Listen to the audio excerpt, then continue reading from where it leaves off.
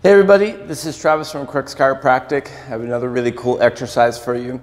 Um, this is called Stir the Pot. Um, this is one of the um, best plank variations um, that I've ever come across. Um, I teach it all the time. Um, it's definitely a part of our strength program here. And yet, after all these years teaching this activity, um, I never cease to um, uh, be amazed at how difficult this exercise is, especially if you are open-minded and you're creative with um, how to pattern this activity. So you'll need an exercise or a physio ball, um, something um, that's uh, going to fit your body type. Um, I typically find that a small to medium size is more than enough for most people, okay?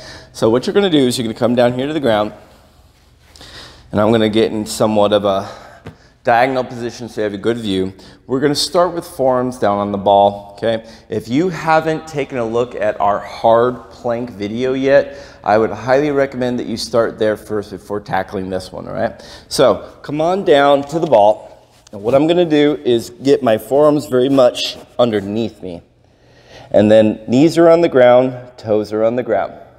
From here, what I'm going to do is I'm going to straighten my knees off the ground and immediately start going through my hard plank checklist, which is making sure that I'm squeezing my thighs together and that I'm squeezing my butt. This is maximal. From here, I'm going to push my body off the ball with my forearms and slightly move the ball forward. And then from here, what I want you to do is let's just start with that stir the pot pattern. Go in circles, go both directions. The perturbation, the movement, the adjustment of my uh, center of gravity in the ball is what makes this so challenging. You can hear my good breathing, and then when you're done, you can relax on the ball let your knees come down, and you can take a break. Now, let's start adding some variation into this, all right?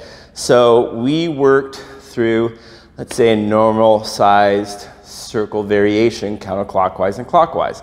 So now let's do a big one.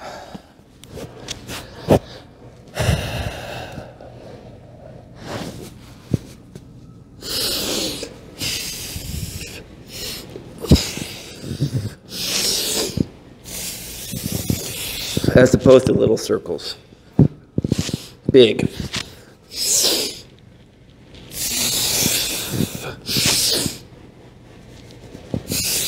And then I relax, knees down.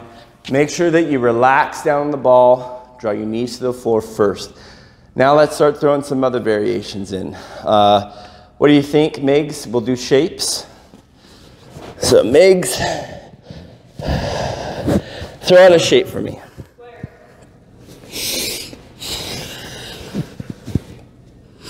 Give me another one. One more.